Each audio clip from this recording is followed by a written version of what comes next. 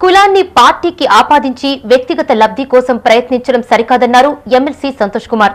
తమను సంప్రదించకుండానే మున్నూరు కాపు సంఘం పేరుతో టీఆర్ఎస్ ఆశీర్వాద సభ నిర్వహించడాన్ని ఆయన తప్పుపట్టారు.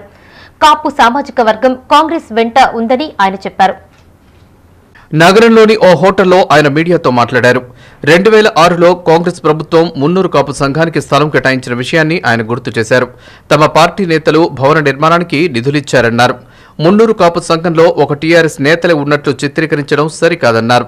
ట్రస్ట్ బోర్డు సభ్యులకు తెలియకుండా ఆత్మీయ సమ్మేళనాన్ని ఎలా నిర్వహిస్తారని టీపీసీసీ కార్యదర్శి ఆమె ఆనంద్ ప్రశ్నించారు. సంఘ అభివృద్ధికి తాము అనేక విధాలుగా కృషి చేస్తున్నామన్నారు. ఈ సమావేశంలో నగర కాంగ్రెస్ అధ్యక్షులు కర్ర రాజశేఖర్ టీపీసీసీ ప్రధాన కార్యదర్శి గంధె మాధవి పాల్గొన్నారు. ఇటు స్థలము దాదాపు ఈరోజు అది ఒక ఆరేడు కోట్ల స్థలం అది. అప్పుడు దాని విలువ లేకుండే. కులానికే పార్టీని ఆపాదించడం అది పద్ధతి కాదు.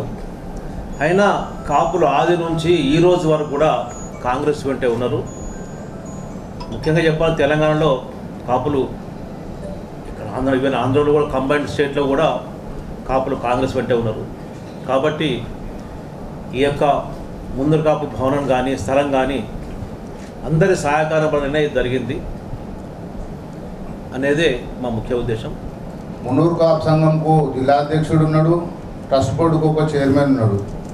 మున్నూరు కాపు సంఘానికి సంబంధించిన కులంకు సంబంధించిన నాయకులము ట్రస్ట్ బోర్డు మెంబర్లము.